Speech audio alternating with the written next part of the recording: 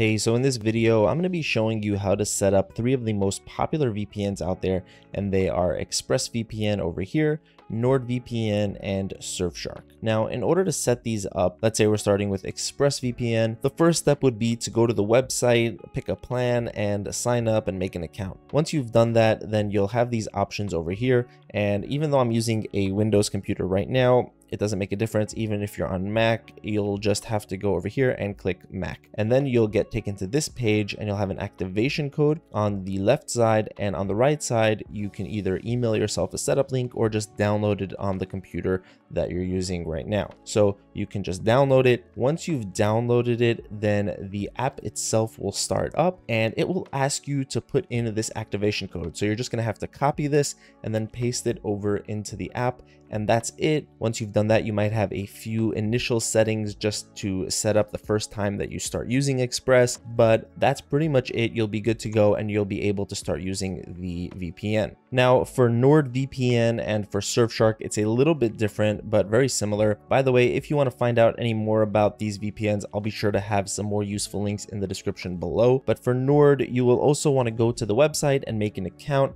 and then you'll have this page right here or something very similar and you just need to go over to the download center the download apps you can either get to it here or on the left side over here and then download the app for the platform that you're using so here it would be for windows but we can just scroll down and get it for ios for the app store and we can scroll down even further and get it for mac os on mac and then click download. Once you've downloaded it, the VPN itself, the application will start up, but instead of pasting in an activation code, all you're going to need to do is enter in the same credentials, the same username and password that you used when you signed up for the account in the website here. And then once you've done that, again, there might be a few initial settings the first time that you open it up, but that's pretty much it. The homepage is actually not this. The homepage is actually here. This is the homepage. And to get to the VPN, you can either use it on the left side right here. You have some add-ons here. NordVPN comes with basically a small antivirus threat protection. It has some statistics about your connection and also there is secure file sharing. So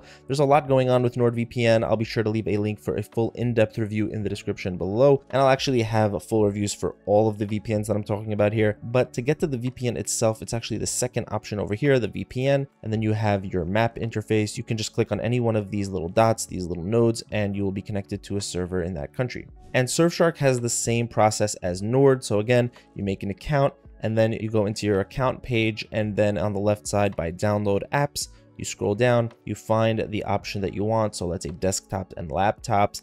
And for Mac OS, we go to view and then we can download it either directly or from the app store you also have the legacy app for older mac os versions all of these vpns by the way will have an option for older Mac versions. So you can just look around. If you have an older version of Mac, you will be able to find a legacy version. But the main option that you're given here will be for the most current versions. But once you've downloaded the app, then you can just open up Surfshark and then again log in using the same credentials that you set up your account on the website with and you'll be good to go with Surfshark. Now, in terms of the difference between these three VPNs over here, my go-to option and the one that I use the most is over here, ExpressVPN. This is what I find to be just the simplest and easiest to use, and the one that just has the simplest interface. You just click on the location bar, pick where you want to connect to. There's a big connection button, and then you have the shortcuts to get to wherever you want to get to really quickly, and it's just really simple and easy to use. So this is personally the one that I use the most. It also has very stable connections